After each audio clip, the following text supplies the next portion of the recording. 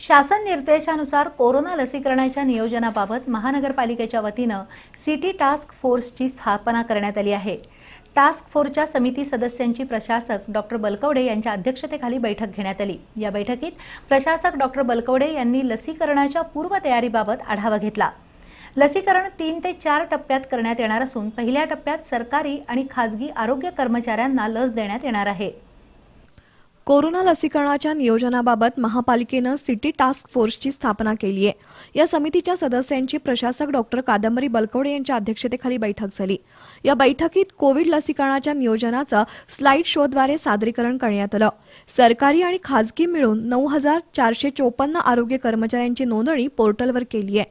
लस साठवणुकीबाबत पुरेशी cold storage उपकरणं उपलब्ध असल्याची माहिती आरोग्य अधिकारी डॉक्टर अशोक पोळ यांनी दिली.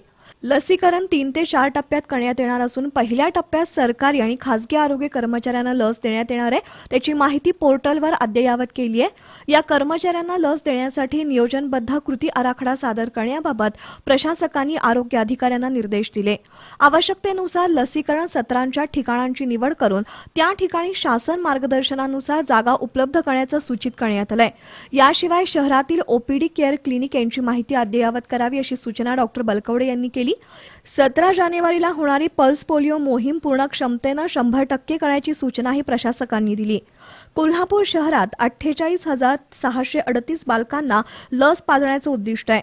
कोरोनामुळे मास्क आणि सॅनिटायझरचं वाटप तसंच सामाजिक अंतर पाळून ही मोहीम राबवण्यात येणार आहे.